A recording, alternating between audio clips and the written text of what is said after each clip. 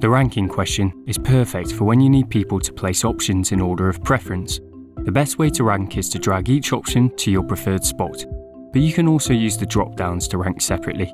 I'd like to take you through how to set up your question and how it looks when you view your results. Once you've added a ranking question to your survey, fill in your question text to ask your respondents what you'd like them to rank. Then add your ranking options below.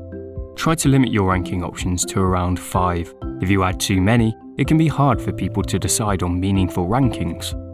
If you already have your ranking options saved elsewhere, click Bulk Answers and copy and paste them so you don't have to type them out one by one.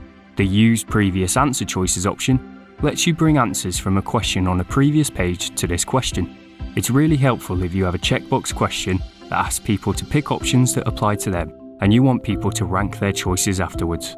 Just choose the question you want to bring the answers from, then choose if you want to only bring the answers the respondent chose or the ones they didn't choose.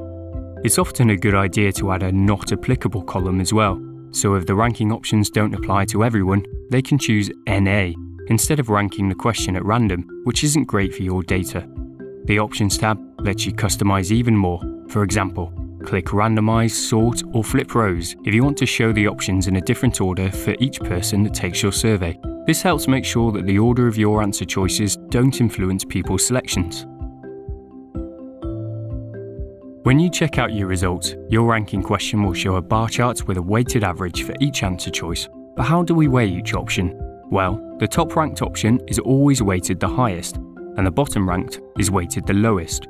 So in a question with five options, the highest ranked option would have a weight of 5, and the lowest ranked option would have a weight of 1. Below your chart, you can find a breakdown of how each option was ranked overall.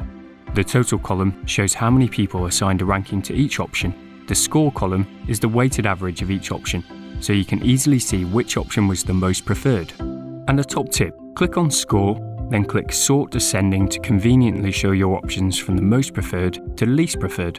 Even changes the bar chart to make it easier to read. From the display options, you can even show the exact weighted average in the chart by clicking Data in Chart.